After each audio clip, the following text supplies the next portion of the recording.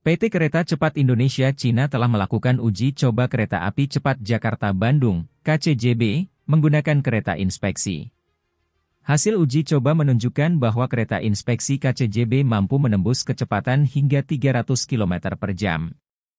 Manajer Corporate Communication KCIC, Emir Monti mengatakan, tercapainya puncak kecepatan tersebut dikarenakan adanya penyempurnaan prasarana seperti jalur, kelistrikan, persinyalan, peningkatan faktor keselamatan, serta monitoring dan evaluasi yang terus dilakukan secara rutin. Pengujian dilakukan menggunakan CIT atau kereta inspeksi dan diikuti oleh Wakil Menteri 2 BUMN Kartika Wirjoatmojo, Deputi Bidang Koordinasi Investasi dan Pertambangan Kemenkomarves Septian Haryoseto, Direktur Jenderal Perkeretaapian Kemenhub Muhammad Rizal Wasal. Direktur Utama KCIC Duyana Slamet Riyadi, Direktur Utama KAI Didiak Hartantio beserta jajaran terkait lainnya. Dari Jakarta, Iqbal melaporkan.